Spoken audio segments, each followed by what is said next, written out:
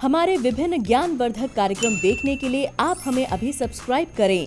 Bell icon को press करें ताकि आप देख सकें हमारा कार्यक्रम सबसे पहले।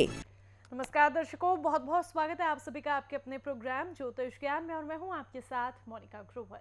हमेशा की तरह स्टूडियो में आज भी मौजूद हैं हमारे साथ हमारे बेहद खास मेहमान। जी हाँ the famous palmist astrologer and vastu expert professor Dharmendra Sharma ji. तो आइए मिलकर उनका स्वागत करते हैं। नमस्कार सर। नमस्कार। सर अक्सर हम वार के अनुसार यानी डेज़ के अकॉर्डिंग व्रत रखते हैं ग्रहों के अकॉर्डिंग व्रत रखते हैं। क्या राहु और केतु के लिए भी व्रत रखा जाता है? अगर रखा जाता है तो इसकी विधि क्या है ये बताइए। जी। आइए दर्शकों बात करते हैं राहु और केतु के व्रत हम किस प्रकार से रखें? हमने विगत दिनों में नाना भांति के चीज़ों का ज़िक्र आपसे किया और व्रत की श्रृंखला में समस्त प्रकार के व्रतों में जहाँ हम सोम का व्रत रखते हैं, सोमवार का रखते हैं, मंगलवार का रखते हैं, बुधवार का रखते हैं अलग अलग कामनाओं के लिए अलग अलग व्रत रखे जाते हैं। या हमारी जन्म पत्रिका में या हमारे हाथ की रेखाओं में हमारे इस प्रकार के ग्रह हों, कमज़ोर ग्रह हों, कोई ऐसी स्थिति हो, शत्रु से बाधा हो या मानसिक मंसूबे पूरे ना होते हों, बहुत सारी चीज़ें हैं। तो हम नाना भांति के व्रत हमें बताए गए हैं। अब हम जिस प्रकार से शनि का व्रत रखते हैं करीब करीब उसी प्रकार से राहु और केतु का व्रत रखा जाता है। ये किस दिन रखा जाता है, ये मैं आपको समझा देता हूँ। आप दोनों ही व्रत के बारे में मान के चलना। अगर हम राहु का व्रत रख रहे हैं तो हम 18 व्रत रखते हैं। हम केतु का व्रत रख रहे हैं तो भी 18 व्रत रखने का विधान है। कब से रखे जाते हैं? शुक्ल पक्ष के प्रथम शनिवार से इन व्रत को प्रारंभ किया जाता। यानी कि महीने में दो पक्ष होते हैं, कृष्ण और शुक्ल। चांदनी रातों वाले को शुक्ल पक्ष कहते हैं, आप जानते ही होंगे। तो शुक्ल पक्ष के प्रथम शनिवार से राहु या केतु का व्रत हम रख सकते हैं और 18 व्रत रखे जाते हैं। हर व्रत को रखने से पहले कुछ नियम कायदे होते हैं। वो भी हमने आपको बताए। अब नियम कायदों में सबसे पहली बात तो हमने अक्सर बताते हैं, उस दिन ब्रश नहीं किया जाता है, क्योंकि वो झूठा होता है, मैला होता है। इसीलिए आप हमारा जो व्रत विशेषांक है, कैसे व्रत रखें, पूरी विधि को भी एक बार यूट्यूब पर आप ज़रूर सुनिएगा, समझ में आएगा। हम उस दिन सात्विक आहार लें ख़ास तौर से भोजन में मीठा भोजन लें, ये ध्यान रखें। और उस दिन पीपल की पूजा ज़रूर की जाती है। जो व्यक्ति राहु या केतु का व्रत रखते हैं, प्रातःकाल पीपल की मूल में मीठा जल, काला तिल, शक्कर और उसके अंदर दो लौंग, कच्चा दूध, गंगा जल मिला करके अर्पण किया जाता है शनि की तरह। लेकिन शाम के समय पीपल की जड़ में या पीपल के नज़दीक सरसों के तेल का दीप जलाया जाता है राहु या केतु के निमित्त। अति शुभ फलदायी माना जाता है। अठारह व्रत रखने हैं। अठारह आपको जलाना होता है। अब एक इसमें विशेष चीज़ और ध्यान रखें। राहु केतु के व्रत में ख़ास तौर से आप नीला या काले वस्त्रों का प्रयोग करें। जैसे अगर आप केतु का राहु का रख रहे हैं तो उस वक्त में आप गोमेद धारण कर सकते हैं। केतु का रख रहे हैं तो आप लहसुनिया, जिसको इंग्लिश में कैट्स आई कहते हैं, उसको हम सबसे छोटी उंगली में पहन सकते हैं। या फिर इन चक्रों में ना पड़े, सीधा सा आप ब्लैक रंग का दान करें। या नीले रंग का दान करें या नीला रंग अपने अंग साथ करें लाइक आप जो घड़ी बांधते हैं, उसका जो फीता होता है, वो नीले रंग का या ब्लैक रंग का होना चाहिए। और यज्ञ आदि भी इसके बहुत अच्छे से आप करें या करवाएँ। राहु केतु जब हमारी जन्म पत्रिका में, यही एक ऐसे दो ग्रह होते हैं, जिनकी वजह से हमारी जन्म पत्रिका में कालसर्प दोष उत्पन्न होता। है राहु एक ऐसा ग्रह है, चंद्र के साथ बैठ जाए तो चंद्र ग्रहण दोष बना देता। है सूर्य के साथ बैठ जाए तो सूर्य ग्रहण दोष बना देता। बृहस्पति के साथ बैठ जाए तो राहु चांडाल दोष बना देता। बड़ा विषैला ग्रह होता।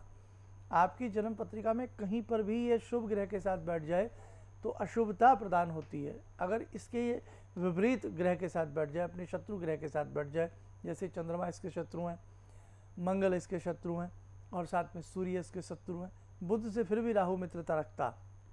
अब देखो बहुत सारी ऐसी चीज़ें हैं जो आपको आपकी जन्म पत्रिका से ही मालूम पड़ती हैं। लेकिन फिर भी हम राहु केतु के लिए दान क्या करें, वो सुन लीजिएगा। अगर हम राहु के लिए प्रॉपरली दान कर रहे हैं, नीला वस्त्र, काला तिल, काला उड़द, काली कोई भी वुड लकड़ी, या कोई भी ऐसा काला गर्म कपड़ा, कंबल आदि हम दान कर सकते हैं, या फिर सब कुछ नीला लें। नीले से भी बहुत अच्छी बात बनती है। कुत्ते की सेवा करना भी एक तरह से राहु को पसंद होता है अच्छा लाभ मिलता है। केतु का दान कर रहे हैं, कुल्थी हम दान कर सकते हैं, काले पुष्प हम दान कर सकते हैं। वैसे वास्तव में केतु का जो रंग होता है, वो तम्बाकू रंग का होता है लाइक हल्का हल्का कोका कोला टाइप रंग का होता है। जैसा टेबोको होता है ना तम्बाकू आपने बड़े वाला देखा हो अगर किसी ने, उस टाइप का कलर होता है। या हम ये भी कह सकते हैं कि एक हल्का सा चॉकलेटी टाइप का कलर भी केतु के दान में दिया जाता है। ऐसा कोई वस्त्र दे सकते हैं, जुराबे दे सकते हैं, किसी भी गरीब की इमदाद कर सकते हैं। शनिवार के दिन 18 शनिवार व्रत रख रहे हैं। अठारह शनिवार जो आपसे थोड़ा बहुत बने आप दीजिएगा। अब इससे होता क्या है? इनके जब कितने किए जाते हैं, ये भी मैं आपको बता देता हूँ। राहु का जो बीजात्मक मंत्र होता है, वो भी आप सुन लीजिएगा। और मैं आपको केतु का भी बीजात्मक मंत्र अभी बताऊँगा। और इसकी संख्या कितनी होनी चाहिए? वो भी मैं आपको अभी एक दो मिनट में नोट करा दूँगा। आप अपना कागज़, पेन तैयार रखें। लाभ क्या होता है राहु केतु का व्रत रखने से? अगर किसी प्राणी का लंबे समय से पेट सही ना हो या किसी की जन्म पत्रिका में सूर्य चंद्र ग्रहण दोष हो, गुरु चांडाल दोष हो अच्छा लाभ मिलता है। किसी को बहुत बड़े शत्रु से हानि हो रही हो तो राहु केतु के व्रत से लाभ मिलता है। कोई राज्य भय हो, कोई राजदंड का भय हो या कोई ऐसी चीज़ हो कि उसको भय सताता हो कि मुझे ये सजा ना मिल जाए। जबकि उस प्राणी की कोई गलती ना हो, कई बार भय व्याप्त हो जाता है मन में। तो ऐसी स्थिति में भी ये व्रत रखना बहुत अच्छा होता।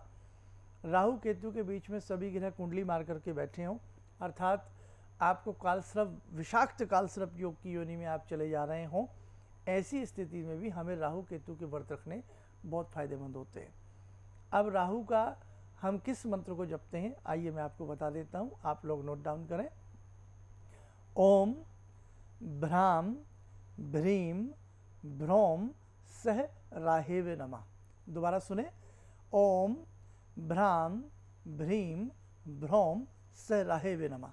इसकी जप संख्या कितनी होनी चाहिए? राहु के मंत्र की टोटल 18 वर्तों वर्तों तक अट्ठारह हज़ार। अपने हिसाब से डिवाइडेशन कर लें। अट्ठारह हज़ार इसकी जप संख्या होती है। केतु का सुन लें। ओम, श्राम, श्रीम, श्रोम, सह केतवे नमा। दोबारा सुने। ओम, श्राम, श्रीम, श्रोम, सह केतवे नमा। इसकी जब संख्या सत्रह हज़ार होती है, या अट्ठारह भी कर लेंगे तो कोई बुरी बात नहीं है। और इस बीच दान पुण्य कुछ भी आप करते रहें, निश्चित तौर से आपको इसका फल मिलेगा। हालाँकि राहु और केतु कोई ग्रह नहीं है। ये भी मैं आपको बता दूँ, जो पिंडात्मक रूप में ग्रहों की स्थिति है, साइंस ने भी प्रूव की है और हज़ारों वर्ष पहले ज्योतिष तो कर ही चुकी है। राहु और केतु मात्र दो छाया ग्रह माने जाते हैं शेडो ग्रह माने जाते हैं।